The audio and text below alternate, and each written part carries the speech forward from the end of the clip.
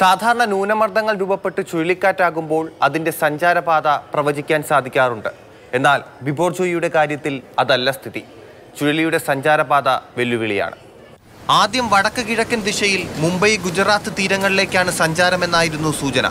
ചുഴലി വടക്കോട്ട് പോയി പിന്നീട് കിഴക്കോട്ട് വരുമെന്നും ചില ഏജൻസികൾ പ്രവചിച്ചു. ചുഴലിയുടെ ദിശ സംബന്ധിച്ച് ഇത്രയും ആശയക്കുഴപ്പം അടുത്തെങ്ങും ഉണ്ടായിട്ടില്ലെന്നാണ് വിലയിരുത്തൽ. സാധാരണ മൂന്ന് ദിവസമെടുക്കും ഒരു ന്യൂനമർദ്ദം ചുഴലിക്കാറ്റാകാൻ. ഇവിടെ ഇരുപത്തിനാല് മണിക്കൂറിനുള്ളിലാണ് അറബിക്കടലിലെ ന്യൂനമർദ്ദം ബിപോർ ജോയി ചുഴലിക്കാറ്റായത്. കടലിലെ ചൂടാണ് കാരണം. അറബിക്കടലിന്റെ മധ്യകിഴക്കൻ ഭാഗത്തെ മുപ്പത്തിയൊന്ന് ഡിഗ്രി ചൂടിൽ നിന്നാണ് മണിക്കൂറുകൾ കൊണ്ട് ന്യൂനമർദ്ദം രൂപം മാറിയത്.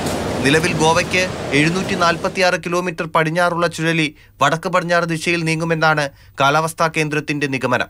കേന്ദ്ര കാലാവസ്ഥാ വകുപ്പിന്റെ പുതിയ പ്രവചനം അനുസരിച്ച് പാകിസ്ഥാനിലെ കറാച്ചി തീരത്തേക്കാണ് വിഭോചോയ് ചുഴലിക്കാറ്റ് സഞ്ചരിക്കുന്നത്.